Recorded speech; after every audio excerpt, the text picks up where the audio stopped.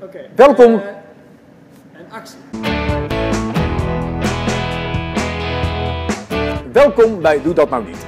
Wat moet je vooral niet doen bij het verstellen van een tuindeur? Ik leg het je uit. Ik heb hier een poortframe, een duimplaat, een bevestigingsstuk.